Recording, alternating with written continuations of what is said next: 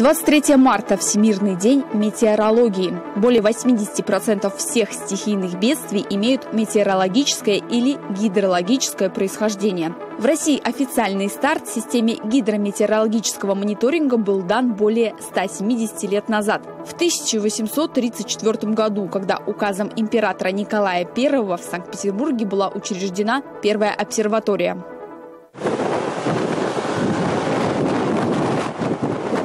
23 марта 1839 года – день рождения выражения «ок», ныне популярное «окей». По некоторым сведениям, в бостонской газете Morning Post это выражение появилось как шуточное сокращение неправильно написанного «all correct», то есть «все правильно». А кто-то считает, что выражение придумали греки, ибо «ола кала» означает «все хорошо».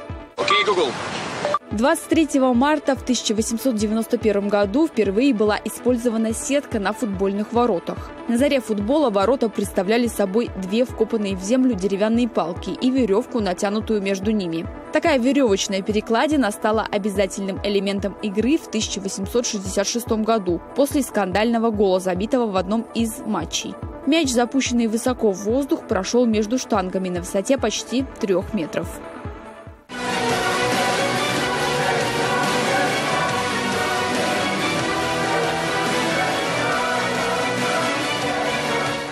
А 23 марта 2001 года была затоплена орбитальная станция «Мир» в южной части Тихого океана, рядом с островами Фиджи. За время существования станции на ней было проведено более 23 тысяч экспериментов, поставлены два рекорда продолжительности пребывания в космосе – Валерием Поляковым и Шеннон Лусид.